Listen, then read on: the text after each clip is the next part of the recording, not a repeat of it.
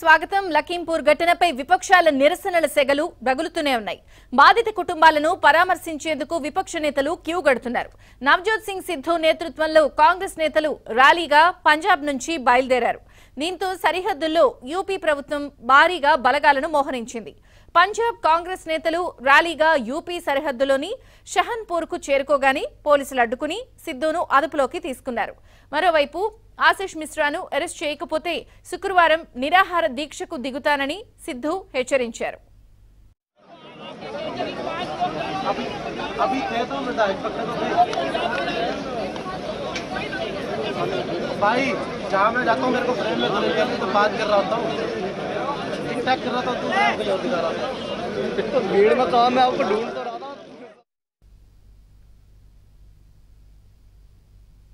లఖీంపూర్ ఘటనను సుప్రీంకోర్టు సుమోటోగా విచారణకు స్వీకరించింది.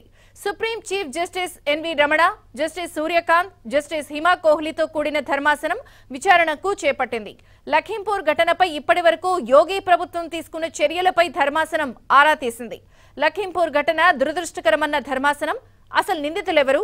ఎవరిపై కేసు నమోదు చేశారు? ఎవరెవరిని అరెస్ట్ చేశారు అని పూర్తి వివరాలతో శుక్రవారంలోగా నివేదిక ఇవ్వాలని యోగి ప్రభుత్వాన్ని సుప్రీం ఆదేశించింది. అదే సమయంలో ఈ ఘటనకు సంబంధించి కేంద్ర మంత్రి కుమారుడు ఆశిష్ మిశ్రాతో పాటు మరొకరిని అదుపులోకి తీసుకున్నట్టు లక్నో ఐజీ లక్ష్మీ సింగ్ తెలిపారు.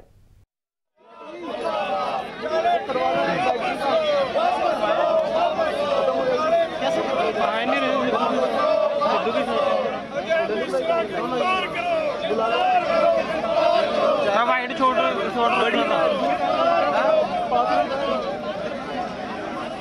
देखियो। ఉత్తరప్రదేశ్లోని లఖీంపూర్ ఖేరీలో ఆదివారం రైతులపై కేంద్ర హోంశాఖ సహాయ మంత్రి అజయ్ మిశ్రా కుమారుడు ఆశిష్ మిశ్రా కాన్వాయ్ దూసుకెళ్ళిన ఘటనలో నలుగురు రైతులు ఒక జర్నలిస్ట్తో సహా ఎనిమిది మంది మృతి చెందారు. ఈ ఘటన విపక్షాలు తీవ్ర ఆగ్రహం వ్యక్తం చేశాయి. దేశవ్యాప్తంగా రైతులు ఆందోళనలకు దిగారు. లఖీంపూర్లో బాధిత కుటుంబాలను పరామర్శించకుండా యోగి ప్రభుత్వం భారీగా పోలీసులను మోహరించింది. విపక్షాల ఆందోళనకు యోగి ప్రభుత్వం తలొగ్గింది పరామర్శలకు అనుమతించింది